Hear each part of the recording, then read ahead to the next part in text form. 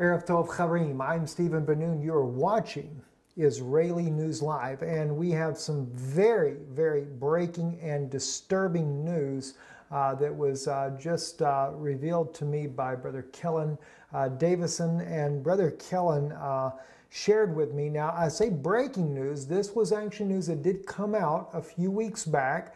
I was brought to my attention on a satire website that we were a little bit skeptical about reporting about that Pope Francis was actually changing the Ten Commandments. And, uh, and, and yes, uh, he did do it. We do have that confirmation. We would not publicize this at first.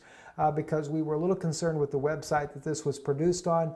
Uh, but Brother Kellen has actually given me an article here uh, from the actual Vatican website. This is the Ten Commandments. Uh, that the Vatican's website, that's at www.vatican.va, uh, that they are sharing here, uh, showing here. And uh, uh, this, by the way, happens to be a very clear fulfillment of Daniel chapter 7, verse 25, which I'll share that with you here in just a minute as well. Uh, but it says here they have they have basically to give you to give this to you in a nutshell they have totally done away with the second commandment. They're taking the last commandment the 10th commandment and they're splitting that into two different commandments saying you shall not covet your neighbor's wife as one of the commandments and you shall not covet your neighbor's goods as a 10th commandment. That would be the ninth and 10th where that is actually the 10th commandment according to the book of exodus now, let's take a look at what they took out here. When we go to the first commandment, we read here in Exodus, I am the Lord your God who brought you out of the land of Egypt, out of the house of bondage. Okay? And, uh, and you shall have no other gods before me. Uh, is is the is the actually the first commandment, and uh, according to Deuteronomy uh, five six, chapter five verse six to twenty one, where the commandments are at, it says, "I am the Lord your God who brought you out of, out of the land of Egypt, uh, out of the house of bondage. And, uh, but it's the first commandment is, Thou shalt have no other gods before me. All right. Now they stated in here in the new traditional catechetical formula, this is their new Ten Commandments. Their first commandment is, I am the Lord your God. You shall not have strange gods before me. So you could have other gods, but just not strange gods.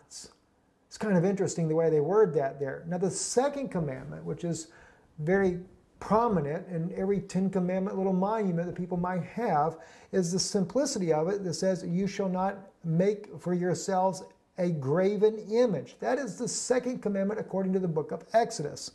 See, uh, now they have taken and they have on there for their second commandment, you shall not take the name of the Lord your God in vain totally doing away with the graven images. Why? Because the, the Catholic Church is absolutely full of graven images. It is the most idolatrous religion on planet Earth is the Roman Catholic Church. Uh, we're going to Daniel, to Daniel's prophecy here.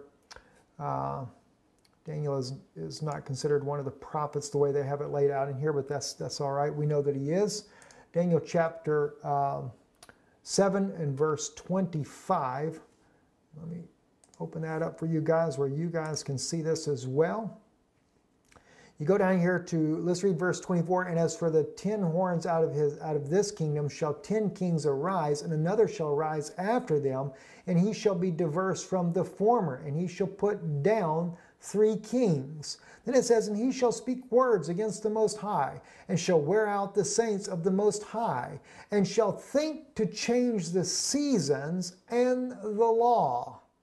And they shall be given into his hand until a time and times and half of time. Now, I just shared with you uh, how he is actually changing the Ten Commandments. But if you would like to see the seasons and times, he did this in the Ten Commandments as of well, as of as of well.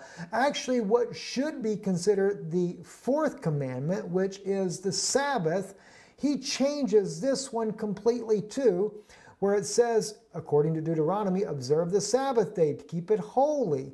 Uh, according to the book of Exodus, remember the Sabbath day to keep it holy. Six days you shall labor. And then God explains what the Sabbath is and how to keep it.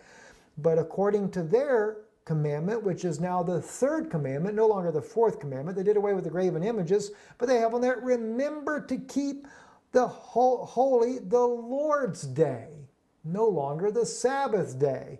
Well, that way the Catholic Church can change times and the laws.